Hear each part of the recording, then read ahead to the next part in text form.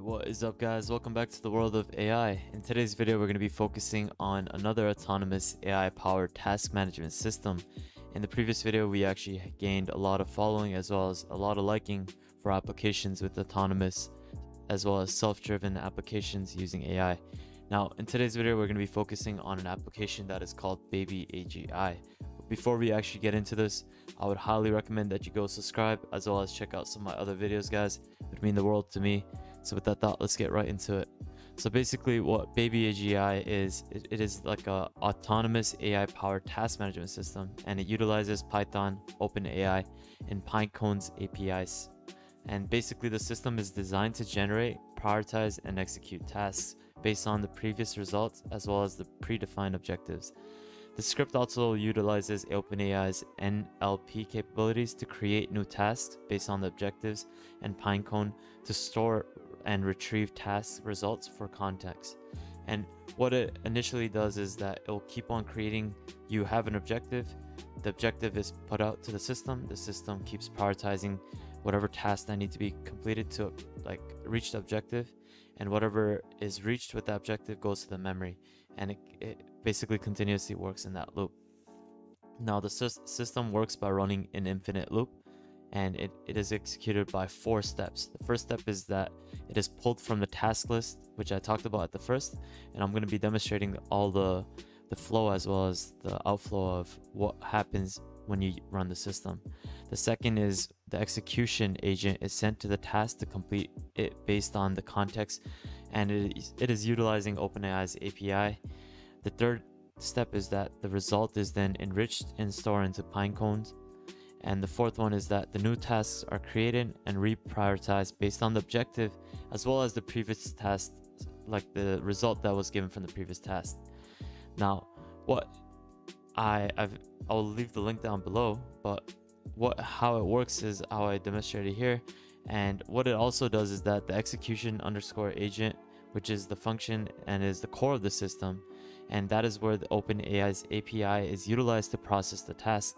And the function takes like two parameters, an objective and the task, and it sends a prompt to the OpenAI API, which returns the result of the task as a string. And the prompt consists of the description of an API system task and objective as well as the task itself. And all this information is on the GitHub, guys. So I definitely recommend that you guys check it out. Uh, it also shows you how to use it. The installation is also here. And one of the main things that you need to worry about whenever you're using this script is that you need to also have caution when running the script continuously because it may also consume a significant amount of like basic your memory as well as it will require a lot of funding to basically preserve and continuously run the program so it's obviously it's it's a huge warning and as well as well as like it's always advised that you monitor the system's behavior and you allocate as well as set like certain floors for running the application so that you don't actually go over your limits as well as going over what you're trying to spend for certain memory. Now this is created by yohi. I don't know i'm sorry if i can't pronounce it right.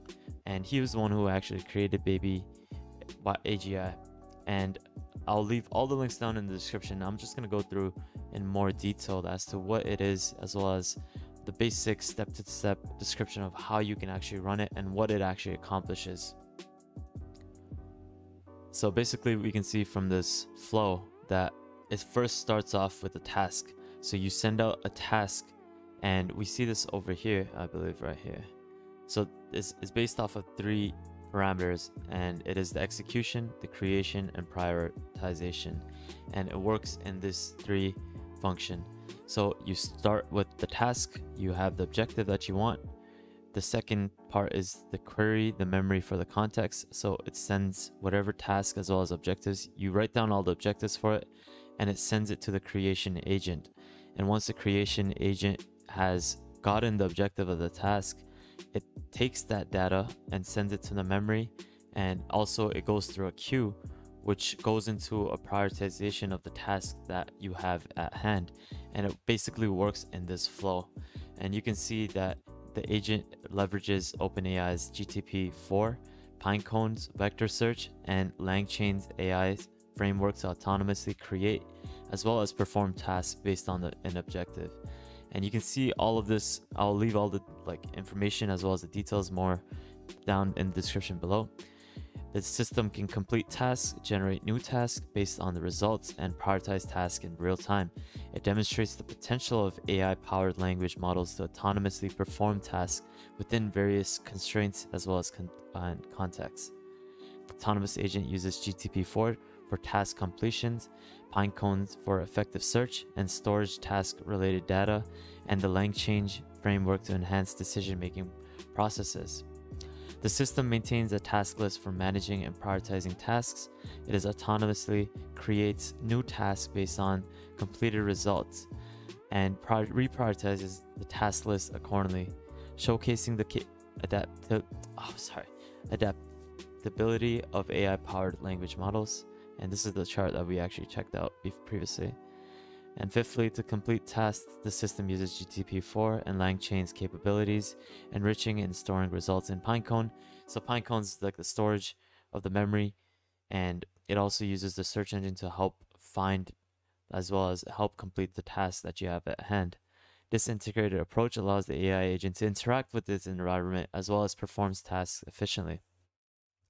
The system generates new tasks based on the completed task results and reprioritizes them Using ChatGPT GPT-4, this allows the system to adapt as well as respond to new information as well as priorities.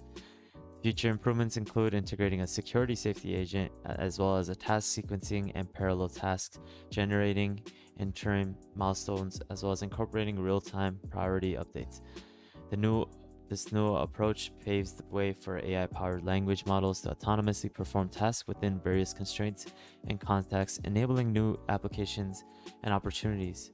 And this is something amazing that these guys have created. I believe there's a couple contribution contributors with this task, and it just goes to show how amazing this is. As with the auton- like the push of autonomous AI, can definitely ease off with day-to-day like menial tasks such as data entry as well as certain tasks regarding smaller managerial as well as administrative work.